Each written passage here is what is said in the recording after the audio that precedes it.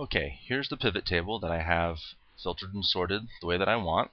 And uh, here on the Options tab of the Pivot Table Tools is this magic button that is uh, disabled for most pivot tables, but for for Power Pivot it's enabled, and uh, I can convert to formulas.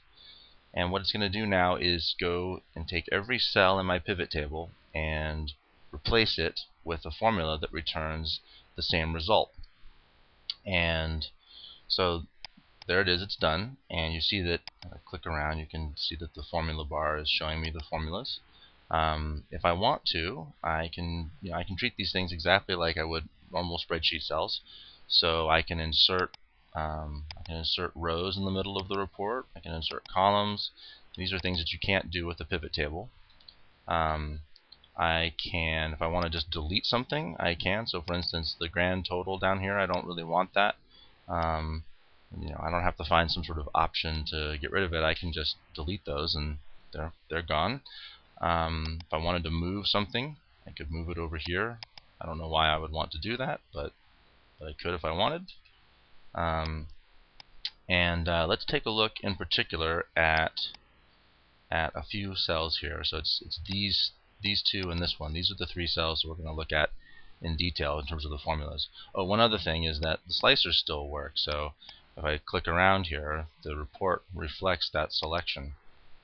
Um, that's kind of cool. And uh, okay, so this formula here, I select Edgerrin James, cube member uh, it's basically, we can skip over the, the, the, syntax for a moment, but think of this cube member formula as saying this cell now represents Edgerrin James, and this string, Edgerrin James, is being returned from the database. Uh, it's actually you know, being pulled out of the Power Pivot database. Um, this one is also a cube member, and it's basically representing the rushing yards measure that I've defined in previous posts.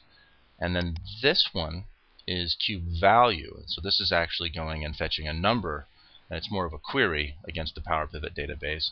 And if I put this formula into edit mode, you will see that it's referencing this cell and this cell. So it's taking the intersection of the Edgerrin James uh, player with the rushing yards measure, and that is the number that's being returned.